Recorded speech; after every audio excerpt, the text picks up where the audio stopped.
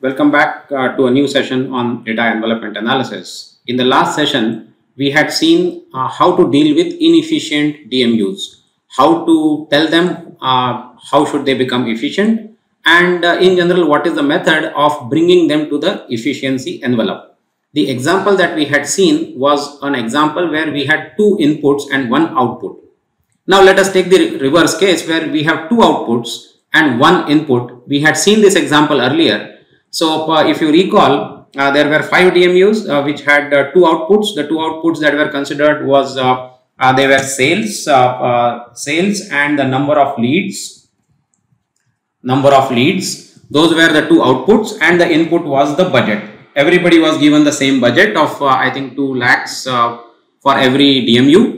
And we saw using this budget how much sales are they able to generate and how many leads are they able to generate. And this was the graphical output right? Uh, and we have seen from the optimization output also that three DMUs turned out to be positive, 3, 4, 5, DMU 3, DMU 4 and DMU 5 turned out to be positive. The focus of this session is not on them. The focus of this session is on DMUs 1 and 2 and uh, these are the DMUs that are not efficient because they are not sitting on the efficiency frontier. Right, uh, so uh, DMUs 1 and 2 are inefficient. Uh, we saw that on the diagram right so uh, we need to move these dmus to the frontier. Right uh, these dmus have to move to the frontier so that we can call them efficient. And when they hit the frontier what are we going to call that point? We are going to call that point hypothetical composite unit very similar to the approach that we had taken in the previous session. Right so uh, from the two, uh, two dimensional uh, graph uh, it is very easy to find the coordinates of hcu because what you are going to say is similar approach. Draw a line from origin draw a line from origin, connect uh, the point and hit it on the uh, frontier. This will be the hypothetical composite unit for DMU1. So this will be the hypothetical composite unit for DMU1. Similarly, draw a line from origin, pass it through the point number 2, make it uh, hit the frontier. This will be the hypothetical composite unit for 2. And uh, we already know geometrically how to find the coordinates of HCU, uh, right? Uh, so uh, this is the same diagram drawn better, uh, not scribbling. So uh, uh we, sh we should be able to find the coordinates of hypothetical composite 1 and hypothetical composite 2 uh, using simple geometry. Uh, so draw, so essentially we know that for DMU 1, DMU 4 and 5 are the reference units, DMU 4 and DMU 5 are the reference units.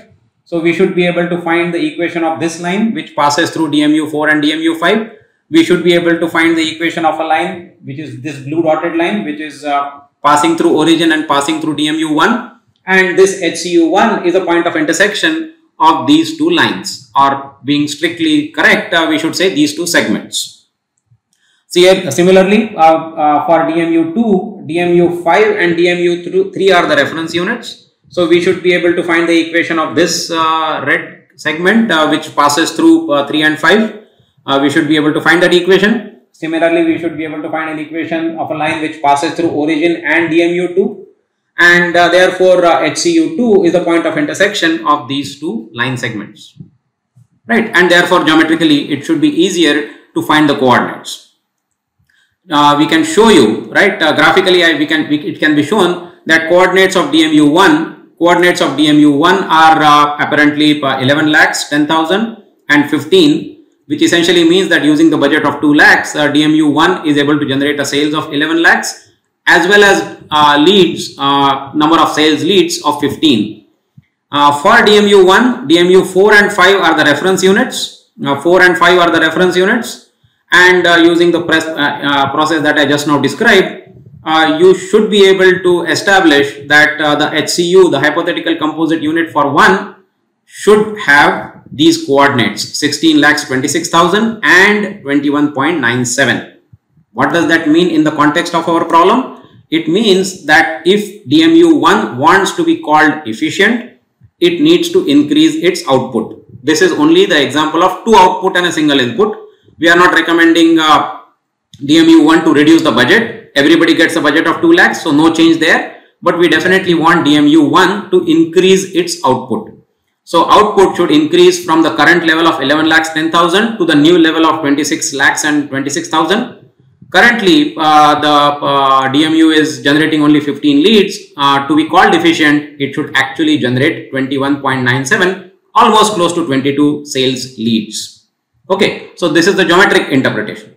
What is the analytical interpretation? For analytical interpretation, we have to go to the uh, optimization output and uh, just like uh, we did for just like we did for the two input case, we look at the we look at the objective function and we look at the shadow prices. We look at the shadow prices. Uh, so uh, I will take you to Excel in a moment, but I can tell you that the dual variable uh, values uh, are 0.449 and 0.233. Let us go to Excel to see that. So let me take you to Excel. This is the Excel. This is the DMU1. Uh, this is the DMU1. Uh, the problem is already solved. The optimization problem is already solved. Okay. Now the DMU1 has reported a objective function of 0.682. Clearly it is inefficient. I look at the sensitivity report for DMU1 and for DMU1 there are two dual variables which are non-zero. There are other dual variables which are zeros. I don't pay attention to them. These are the two dual variables which are non-zero. They correspond to L14 and L15. L14 is this. L14 is this which is for DMU4 L15 is this which corresponds to DMU5. So now we know that for DMU1, DMU4 and 5 are the reference units. What are the dual variables corresponding to that? Dual variables corresponding to that are 0.449 and 0.233. But now we have a problem. If you add up the two dual variables, so we will say 0.449 plus 0.233, it doesn't add up to 1. However, there is a peculiar thing that we observe. It actually adds up to the objective function value. Okay, so this value and this value are the same. So the dual variable values, unlike in the two input example, here the dual variable values don't add up to 1, they add up to the efficiency value. So how do you convert them? Actually, you don't take the dual variables directly into calculations. You divide this dual variable by the objective function value so how do you do this? So you divide the uh, dual variable 0.449 by the objective function value which is 0.682 and you divide the other dual variable by the objective function value and you scale them to 1. Now if you add them up you will realize that it adds up to 1. So once again uh, unlike the two input example uh, you cannot directly take shadow prices, you cannot directly take the dual variable values in your HCU calculations directly because they don't add up to 1. They add up to only the value which is reported as the efficiency value for DMU1. So we need to scale these dual variable values and the way to scale them is to divide by the efficiency value. So 0.449 gets divided by 0.682, 0.233 gets divided by 0.682 and the scaled dual variable values now add up to 1. So we are not going to use the raw dual variable values, we are actually going to use the scaled dual variable values to calculate our HCU. So let us see that calculation. Remember these values now. Remember 0.658 and 0.341. You don't have to remember 0.449 and 0.233. Remember 0.658 and 0.341 as the scaled dual variable values and let us take you back to PPT. So the raw dual variable values, the raw dual variable values are actually 0.449 and 0.233. But as we saw, they don't add up to 1 as they did in the two input example. So we have to scale them by dividing by the efficiency value and now we get the scaled weights which are 0.658 and 0.342. 0.658 and 0.342 for DMUs 4 and 5 respectively. Now the method is very clear we saw uh, the method in uh, in case of two input example. So how are we going to calculate the HCU, uh, the hypothetical composite unit for one using the scaled dual variable values. Very clear. Uh, uh, we have seen that method uh, when we looked at the two input example. Now, now we are going to calculate the coordinates of HCU using the dual variable which are scaled dual variable 0.658 and 0.342. Okay, so let us see this. For DMU1, we know that uh, the reference uh, DMUs are 4 and 5. So this is the these are the coordinates of 4, these are the coordinates of 5. Dual variables are 0.658 and 0.342. And how do you calculate uh, the uh, coordinates of the HCU? The coordinates of HCU, first of all, sales. Sales are uh, uh, sales value is same. 2 lakhs for DMU4, 2 lakhs for DMU5 gets multiplied by 0.658, gets multiplied by 0.342. You are going to get the same 2 lakhs. So we don't recommend DMU1 to change its input. Input can be 2 lakhs budget used. Uh, the sales uh, DMU uh, DMU4 had a sale of 12 lakh 24,000 DMU5 had a sale of 24 lakhs. Multiply that by the corresponding weights you get the coordinates of HCU uh, for DMU1 in terms of sales. Very similar process. 23 where the number of leads generated by DMU4 23 20 where the leads generated by DMU5 multiply that by the corresponding uh, weights and you will get the uh, expected number of leads to be done by DMU1 which is 21.97. Now just to confirm this 16 lakhs 26,000 and 21.97 are similar to what we got using the graphical method. Using the graphical method 20, 16 lakhs 26,000 and uh, 21.97 right uh, here we had 0.94 but uh, uh, these were just round off uh, um, things. I, I did not round them off completely. So uh, we are getting same values, same values that we got from geometric method. How do we interpret this now? Currently DMU1 is using a budget of 2 lakhs. DMU1 is actually generating a sale of 11 lakhs 10,000 and DMU1 is generating leads of 15. Now DMU1 has to increase its output, increase its output by uh, 5 lakh rupees in sales and almost 7 more leads to be generated. Only then we will call DMU1 as an efficient DMU. Hope that is, this explanation is clear. The only change that we have made from the previous session are the dual variable weights. Now the dual variable weights are not, not the raw weights that come from the Excel output. We have to scale them so that they add up to 1. That's the only change we have made. Okay, let us quickly look at DMU2. Let us quickly look at DMU2. DMU2, the reference units are 3 and 5. Reference units are 3 and 5. Right? Uh, let us look at the Excel for that. Let us look at the Excel for that. So let me take you to Excel. LP2. So this is the linear programming problem for DMU2. DMU2 had a reported uh, objective function of 0.60 which means it is inefficient. I will look at the sensitivity report for DMU2 DMU2, there are two dual variables which are non-zero. One corresponds to L13, the next corresponds to L15. These are the two, these are the two dual variables which are non-zero. L13 corresponds to L13 corresponds to uh, DMU3 and L15 corresponds to DMU5.